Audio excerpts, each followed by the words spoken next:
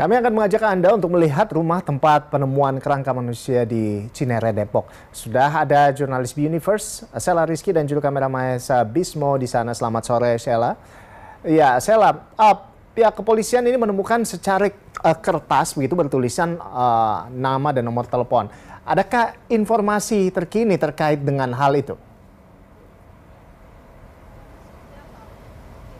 Baik, selamat sore Ando dan juga pemirsa mengenai secarik kertas begitu ya yang ditemukan oleh uh, pihak kepolisian saat uh, mengevakuasi jenazah ini. Memang belum ada informasi terbaru. Yang kami uh, dapatkan informasi terbaru uh, informasinya adalah surat tersebut uh, bertuliskan gitu nama uh, inisial seseorang bernama S dan K kemudian juga berisikan nomor telepon. Tidak ada uh, surat yang berisi pesan hanya berisikan nama dan juga nomor telepon dan ini diduga adalah uh, kerabat ataupun uh, keluarga dari dua uh, jasad yang uh, meninggal begitu di kawasan Cinere Depok. Dan saat ini memang polisi masih melakukan uh, koordinasi begitu dan menghubungi uh, pihak keluarga untuk mengetahui mengenai secarik uh, kertas yang ditemukan tersebut. Untuk saat ini memang di lokasinya sendiri keadaannya di sini cukup sepi begitu kawasannya tidak uh, ramai warga yang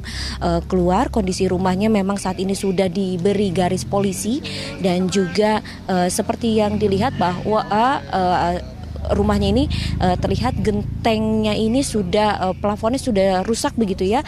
Kemudian juga uh, rumputnya agak sedikit tinggi tidak terawat memang diinformasikan oleh para tetangga yang sempat menemukan uh, dua jenazah ini pada Kamis kemarin memang tidak uh, rumah ini sudah lama tidak uh, ada kabarnya begitu sudah lebih dari satu bulan. Jadi ini terlihat juga dari uh, rumput yang uh, tinggi. Kemudian untuk uh, hari ini rencananya diinformasikan dari uh, tim uh, forensik dan juga dari Polda Metro Jaya akan melakukan olah TKP ulang yang mana nanti olah TKP ini akan uh, dilakukan oleh dokter forensik pimpinan Kabit Dokes PMJ dan juga tim forensik RSCM UI, Inavis dan Lafor dan nantinya juga akan melibatkan dari asosiasi psikologi forensik untuk mengidentifikasi temuan baru yang mana itu ada tulisan berbentuk e, bertul berbahasa Inggris di dalam sebuah laptop yang e, ditemukan dan tadi yang sudah disampaikan oleh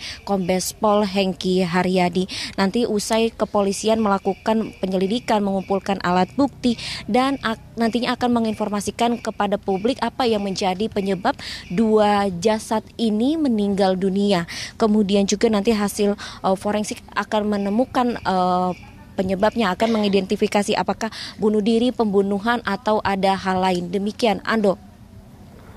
Baik, uh, Sela Rizky kami terus menantikan update selanjutnya dari Anda terkait dengan penemuan uh, jasad uh, tinggal kerangka ini di Depok, Jawa Barat. Terima kasih Sela Rizky atas laporan Anda.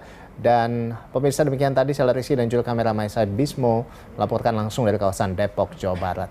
Selamat bertugas kembali. Sebelumnya, penemuan ibu dan anak tinggal kerangka di Depok, Jawa Barat ini sempat menggemparkan warga. Pemirsa kerangka keduanya ditemukan petugas keamanan di dalam kamar mandi.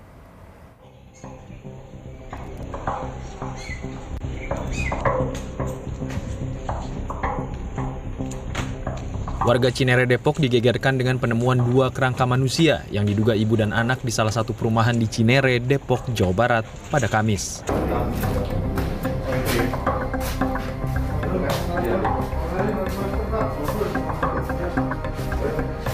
Kedua korban ditemukan di kamar mandi dalam kondisi berdampingan.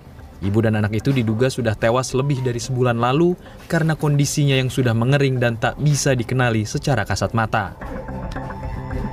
Kedua kerangka ibu dan anak ini awalnya ditemukan oleh pihak keamanan perumahan. Kecurigaan pihak keamanan timbul karena sudah sebulan penghuni rumah tidak terlihat keluar.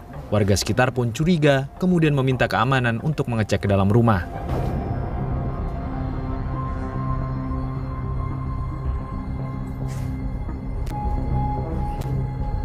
Kondisinya sudah berdua ya berjejer.